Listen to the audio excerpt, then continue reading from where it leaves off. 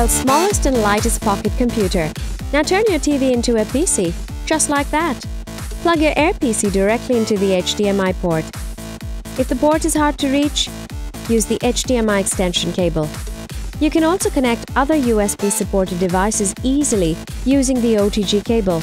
While your Air PC comes with an inbuilt 32GB storage, it can be expanded up to 128GB using microSD. You can connect a keyboard and mouse through the USB port or via Bluetooth. One last thing push the power button till the LED light turns on. The Air PC comes preloaded with Windows 10, so once you power on, you're good to go. Change the way you compute right now with Air PC by Panache.